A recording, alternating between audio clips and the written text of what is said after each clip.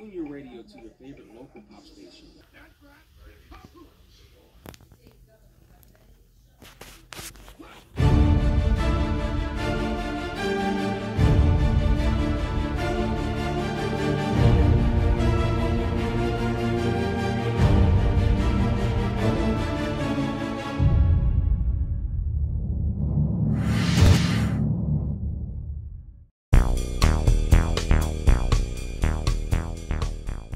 Mr. Garrison, I saw the new schedule and I'm trying to do it, but frankly, I'm so busy I can't necessarily do stuff in the morning. What suggestion do you have?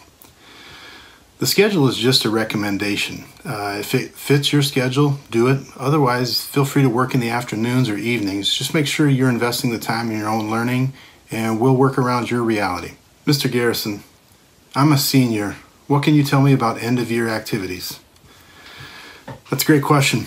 Uh, we're so disappointed and saddened for our class of 2020 and the things that they're going to miss out on that are traditions and rites of passage. But please know that Miss Mellon, uh, Mr. Woods, and several others are working hard on making some celebrations.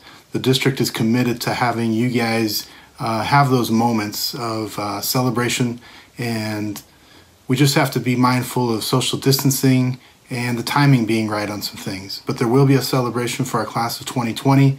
Uh, the school board is intent on also having a traditional graduation ceremony at some future point. Mr. Garrison, with barbershops and hair salons now closed, there's a rumor going around that Mr. O'Rourke, the math teacher, has really let his hair grow quite long. Any truth to this rumor?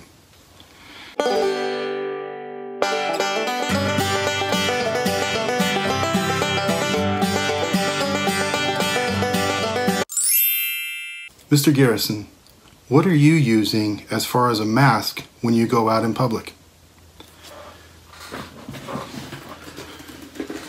I found I can't go wrong with this.